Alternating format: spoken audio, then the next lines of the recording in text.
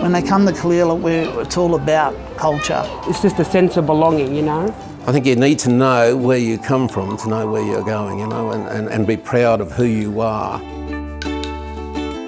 Education's a key. Like, I wouldn't be where I am now if I didn't follow through with education.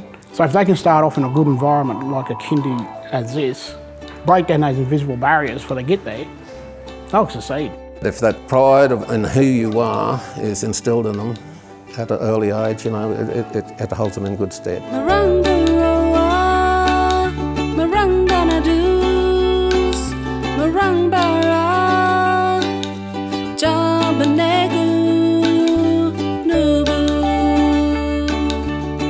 We want Indigenous educators to show our children the pathway and guide them in, in culture, bring culture back because we lost it. And we really need to get that back.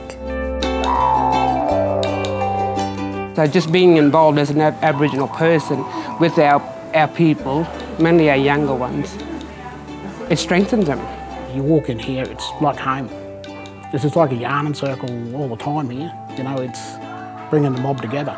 These little footprints, following the footprints, to these little footprints,